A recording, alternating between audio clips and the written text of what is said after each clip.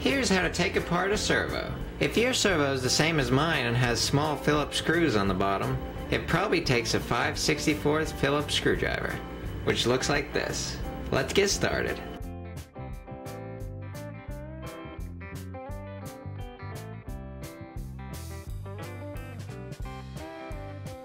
There's the control board that relays the signals to the motor, and then there's the actual motor for the servo.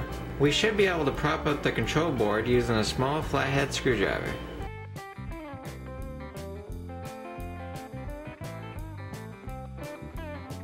Now with the board propped up, we can look inside and see the actual position sensors of the servo.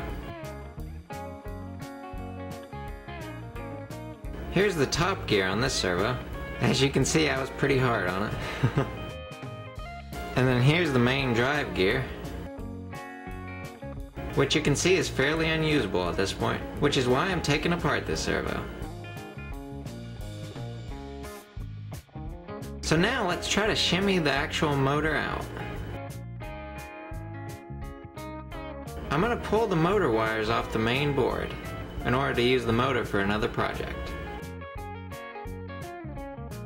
The motor is smaller than my fingernail.